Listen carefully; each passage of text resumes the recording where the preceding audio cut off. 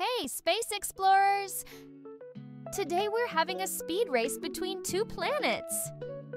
Who's the fastest? Who's the slowest? Let's find out.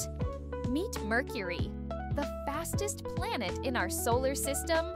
This tiny speedster is the closest planet to the Sun and zooms around it in just 88 days. That's like having a birthday four times a year. And here's Neptune, the slowest planet. Way out in deep space, Neptune takes a whopping 165 years to go around the Sun. That means if you were born on Neptune, you wouldn't even have your first birthday yet. Imagine a race between Mercury and Neptune. Mercury would finish over 700 laps before Neptune finishes one. Whoa! So, which planet would you want to ride on? The speedy Mercury or the slow, chill Neptune? Let me know in the comments.